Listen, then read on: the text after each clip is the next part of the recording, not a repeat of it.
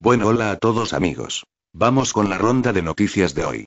En WWE, Chris Jericho ha renovado contrato por seis meses. Lo que podría rumorearse es que si no gana el título este domingo en WrestleMania, entonces la rivalidad con Punk continuará y se hará más brusca la cosa. Además, la WWE ha confirmado a través de su página web que Ric Flair estará en el Hall of Fame y será inducido por segunda vez dentro de este. Recordad que el luchador permanece bajo contrato con TNA, principal rival de WWE.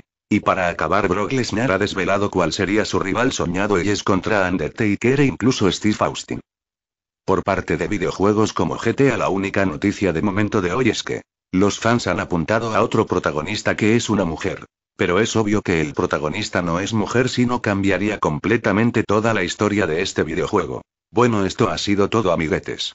Estos días subiré más vídeos porque ya acabé los malditos exámenes así que ya sabéis suscribiros a mi canal si no llamaré a Pornstar y les diré que no pongan las venturas en GTA V.